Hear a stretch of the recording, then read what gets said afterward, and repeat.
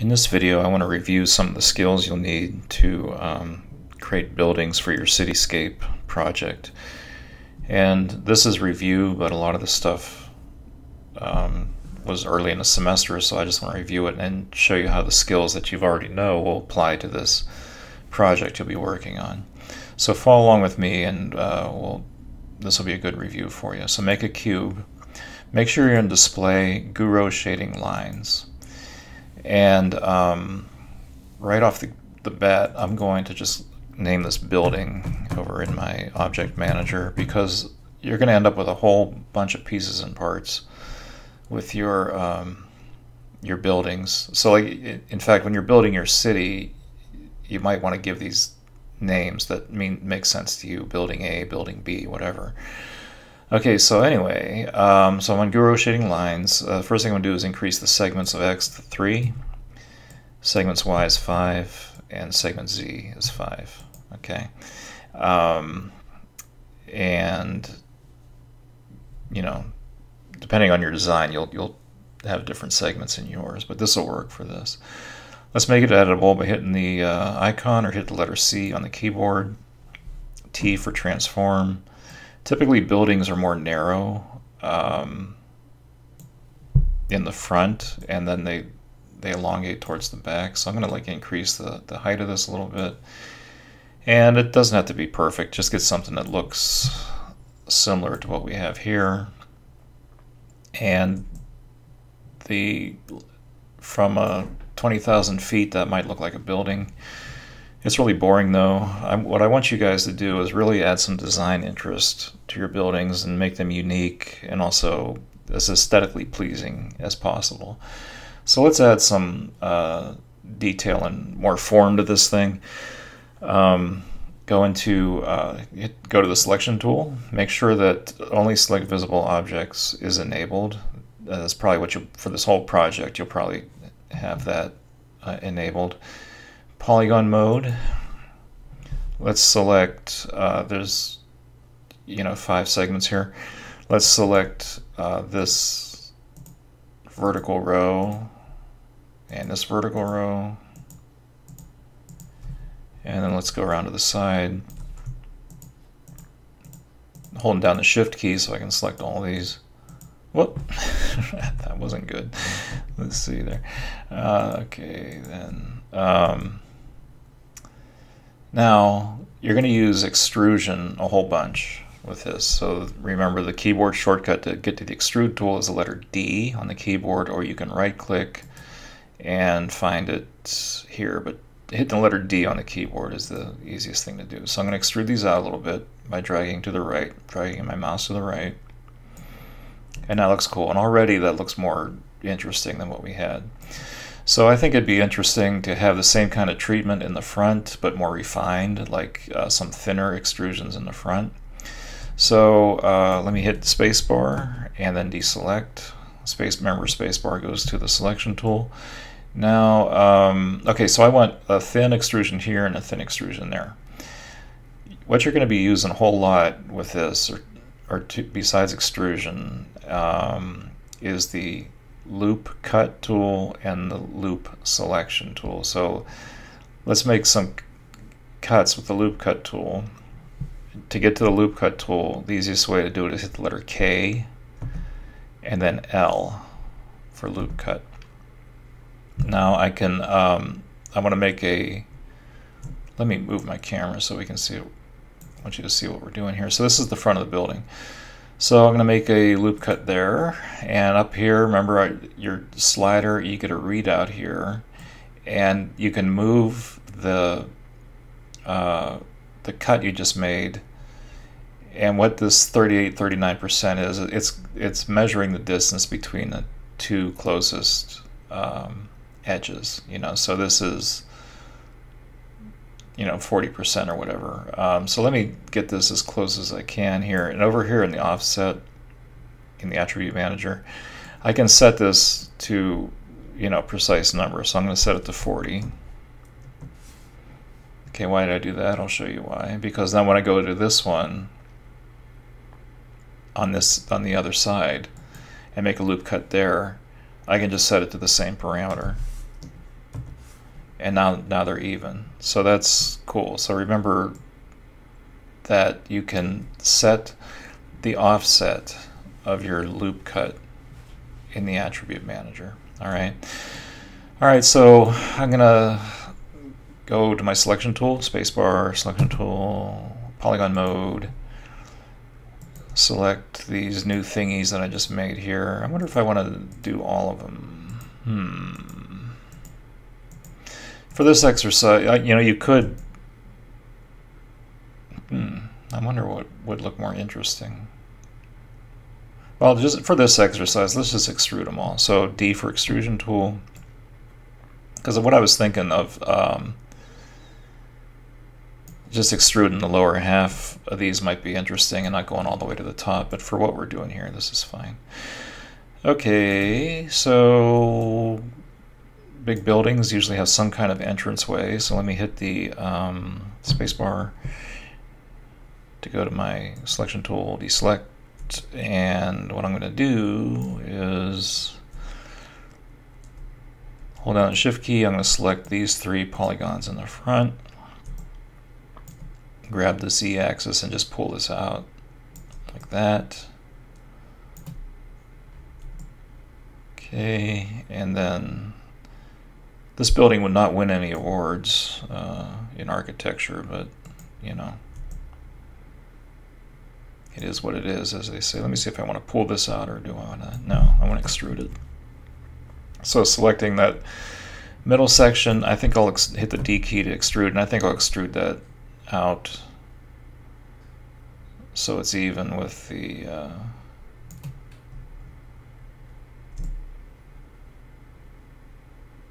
there. So it's even there. Alrighty, so spacebar deselect. And later on, if I wanted to, I could, um, well, let's do it. Let's do loop cut again. Let's do K, L, and let me put a loop there.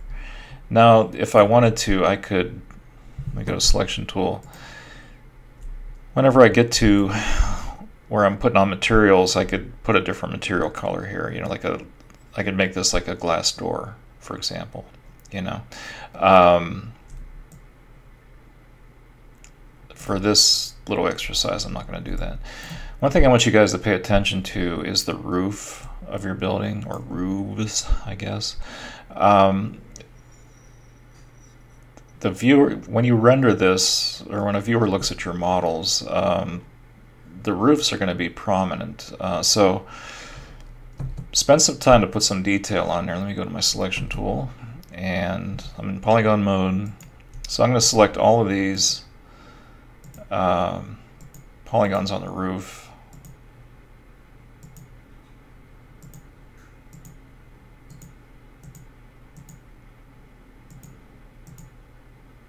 I could have dissolved some of these lines, but I'm too... I didn't, just didn't feel like it. All right, so um, now I'm going to extrude inner. That's another, you're going to use extrude inner and extrude a lot. So extrude inner, the keyboard shortcut, you can hit the right click and get to it, or you can hit the letter I on the keyboard. Click, hold, and drag to the left, and extrude this inner. And then I'm going to extrude downward, so D for extrude, right click and, uh, or pardon me, click, hold, and drag to the left. And then you make that, that ledge, okay? So, and that's, just that little detail there makes a big difference. Now I'm building roofs, there's a bunch of stuff up there like AC units and you know air ducts and, all, all kind of things. Um, so take the time to add some detail up here. And it's real simple uh, when we're at this, this scale anyway. Make a cube. Um, let me uh, scale it down a whole bunch first.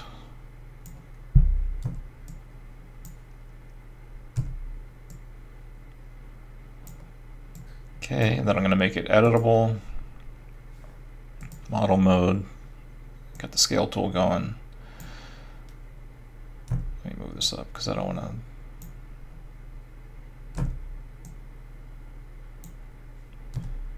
Remember E for move tool. So let me just seat this into my building here. So this is going to be my air conditioning unit and you know nothing to it. It was just a, a plain old uh, cube. You can add a lot more interest to this very very simply. Just make a cylinder and let me just scale this down a whole bunch.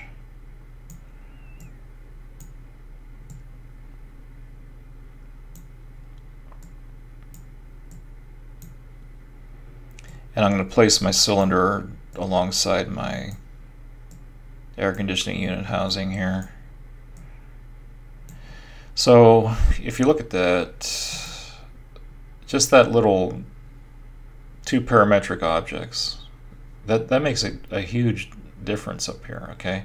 Um, let me, while I'm here, let me go to my uh, object manager. I'm going to call this AC unit.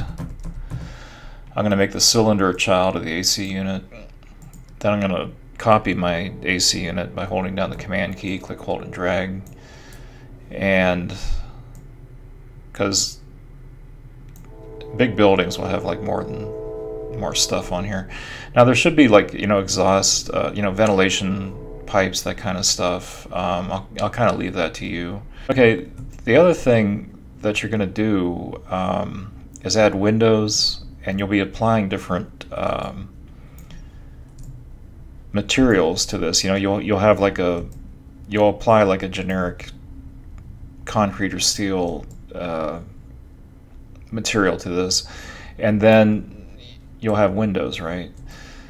So the first thing you'll want to do is lay out where you want your windows using, you know, our friendly neighborhood loop cut tool. So K, and also the way to get another way to get the loop cut tool is if you're in edge mode, right click, whoops, I gotta select the object, right click, and then you can find it in this um,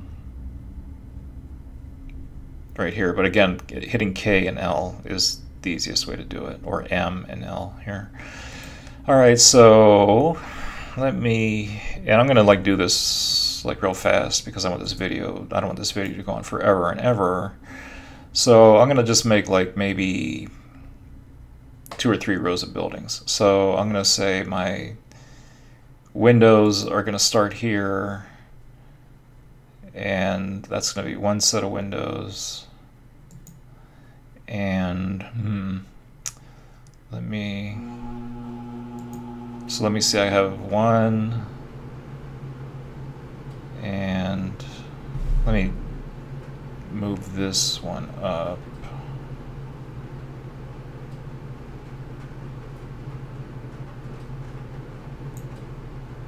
In fact, let me go to, I'm going to go to select loop selection because I want to adjust the, um, I want to adjust this one.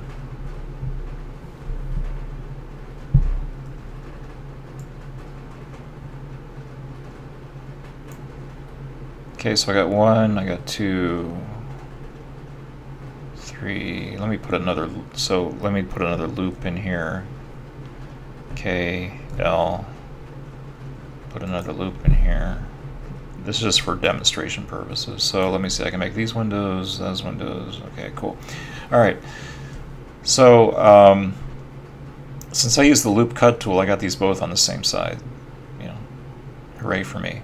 Uh, let me think. I think I'm going to put the, the windows within these indentations here.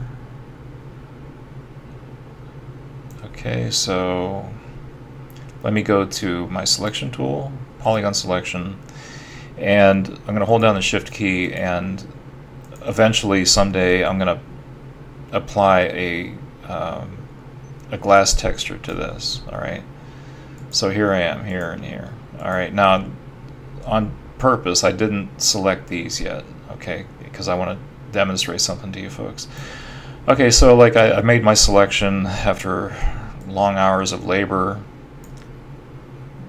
I want to make sure I save the selection. So with that selected, go to Select, Set Selection. When I click Set Selection, the Set Selection tag shows up on my object here. Select the, the new tag, the set selection tag, and um, the polygon selection tag, and then it's called polygon selection. Give it a name that makes sense to you, so I'm going to call it Windows, okay? Believe me, because uh, as this thing progresses, you're going to want to know what the heck, you know, where to apply materials and so on. So anyway, um, so I got window. Okay, cool. So then I continue to work on my model, blah, blah, blah. Let me deselect. So I'm working on my model and everything, and then I decide I want more windows. so let me uh, double click on my uh, polygon selection tag here. Okay, oh, that's right. That's where I had windows before. Now, I'll say, well, I want, you know, this will be logical. I'll have to put a window here, a window there, there and there. That makes sense. And then go around to the other side. Right, so, okay, that, so that's cool. So now, oh, let me put some in the front. Well, for this demo, I'm not going to do that. So anyway, so the um, those are all selected now. Now, again, go to Select, Set Selection. Okay, and it like overwrites, it adds the, the new selections to your selection tag. So let me demonstrate here. Let me hit space, whoops, deselect, I work, work, work, work. So like I want to see where my selection is, double click on your um, selection, polygon selection tag, and there they are all saved. So again, I could like, if I want to add that as a window, I'll go to select, set selection, and now that that is when I double click on my um, tag here that is uh, part of the selection as well so that's what you're going to be using the um, the loop cut oh I didn't show the loop selection okay the other thing is like if you want to or yeah I did show loop selection didn't I or didn't I I don't remember alright um, let's say I want to select this whole section here. Go to select, loop selection, and uh, lo and behold, I can select the whole thing. So I can do whatever I want with it. And like, so you'll be using uh, select loop selection. Where the heck did it go? All right. And you'll be using the loop cut tool, which I demonstrated a whole bunch of times.